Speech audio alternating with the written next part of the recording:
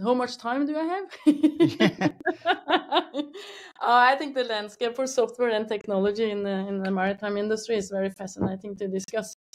Uh, there are also like a huge differences between uh, what's going on on shore in the offices and, and versus what's going on uh, on board the vessels.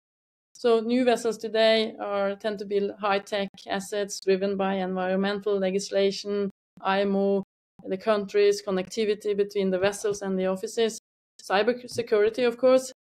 But the tech is available there. So there is there. So here we are more talking about how much money you want to invest and, and when do you do the investment. And, and navigation software has been around for many years already. And now you you also find um, uh, much better uh, like maintenance systems on board the vessels. So you have Internet of Things, you have sensors, you have good uh, connectivity on board the vessel.